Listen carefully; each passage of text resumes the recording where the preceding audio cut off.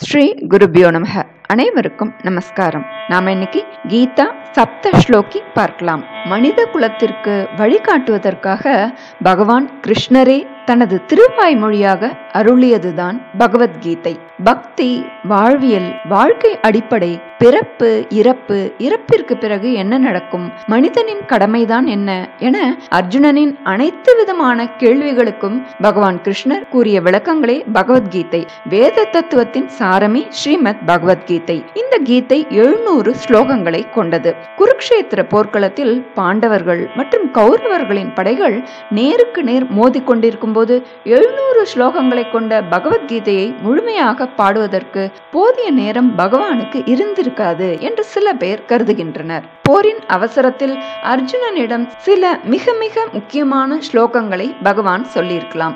இவைகளின் விரிவாக்கம் போர் முடிந்த பிறகு நடந்திருக்க வேண்டும் என்று கருதுகின்றனர். இது ஒரு புறம் இருக்க சிலர் கீதை முழுவதுமே அன்றாடம் பாராயணம் செய்ய வேண்டும் என்று பழக்கத்தில் வைத்திருப்பார்கள். ஆனால் சிலரோ அன்றாட வாழ்க்கை போராட்டத்தில் கீதையின் எழு எழுநூறு ஸ்லோகங்களையும் படிக்கவும் பாராயணம் செய்யவும் போதுமான நேரமில்லை என்று நினைக்கிறார்கள். அதனாலோ என்னவோ தெரியவில்லை. இந்த எழுநூறு ஸ்லோகங்களின் மிக மிக முக்கியமான அடிப்படையான சாரத்தை வெளிப்படுத்தும் ஏழு ஸ்லோகங்களை மட்டுமே தேர்ந்தெடுத்து கீதா சப்த ஸ்லோகி என்று பெயரிட்டனர். இது பகவத்கீதையின் எழுநூறு ஸ்லோகங்களில் உள்ள சுருக்கமான சாரம் அப்படின்னு சொல்லப்படுறது.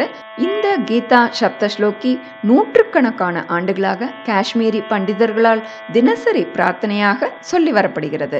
கீதையை முழுவதும் பாராயணம் செய்ய விரும்புபவர்கள் இந்த கீதா சப்த ஸ்லோகியை பாராயணம் செய்தாலே முழுமையான கீதையை பாராயணம் செய்த முழுமையான பலனும் நிச்சயம் உண்டு. இது மட்டுமல்லாமல் இந்த கீதா சப்த ஸ்லோகி பிறப்பு மற்றும் கர்மாவை பற்றிய ஏழு வார நாள் கிரகங்களுக்கு நேரடியான வரைபடம் அப்படின்னு சொல்லப்படுறது. அதாவது முதல் ஸ்லோகம் சூரியனுக்கும் இரண்டாவது ஸ்லோகம் சந்திரனுக்கும் இப்படி வரிசையாக ஏழாவது வரை சனிக்கும் இந்த ஏழு ஸ்லோகங்களை தினமும் பாராயணம் செய்பவர்களும் உண்டு. இதனால் பெரிய பெரிய பிரச்சனைகளை சமாளித்து வாழ்க்கையில் நல்ல முன்னேற்றம் அடைய முடியும் அப்படின்னு சொல்லப்படுறது. இப்ப நம்ம கீதா சப்த ஸ்லோகி பார்க்கலாம். சப்த ஸ்லோகி கீதா. ஓம் ஸ்ரீ பரமாத்மனே நமக. अथ गीता सप्तश्लोकी श्रीभगवानुवाच ओमित्येकाक्षरं ब्रह्म व्याहरन् मामनुस्मरन् यः प्रयाति त्यजन् देहं स याति परमां गतिं। स्थाने हृषीकेश तव प्रकीर्त्या जगत्प्रहृष्यत्यनुरज्यते च। रक्षांसि भीतानि दिशो द्रवन्ति सर्वे नमस्यन्ति च सिद्धसङ्गाः सर्वतः पाणिपादं तत् सर्वतोक्षिशिरोमुखं सर्वतः श्रुतिमल्लोके सर्वमावृत्य तिष्ठति।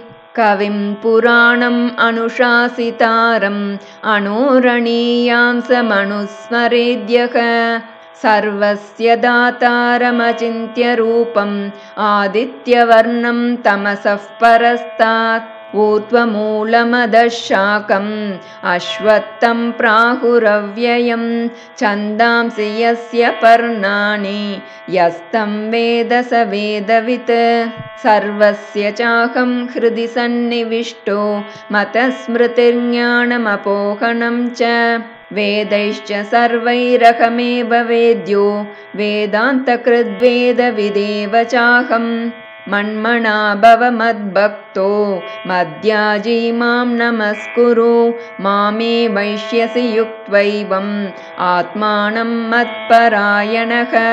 इति श्रीमद्भगवद्गीतासु उपनिषत्सु ब्रह्मविद्यायां योगशास्त्रे श्रीकृष्णार्जुनसंवादे सप्तश्लोकी भगवद्गीता கீதையை முழுவதும் பாராயணம் செய்ய விரும்புபவர்கள் இந்த கீதா சப்த ஸ்லோகியை பாராயணம் செய்தாலே முழுமையான கீதையை பாராயணம் செய்த முழுமையான பலனும் நிச்சயம் உண்டு. ஹரே கிருஷ்ண ஹரே கிருஷ்ண கிருஷ்ண கிருஷ்ண ஹரே ஹரே.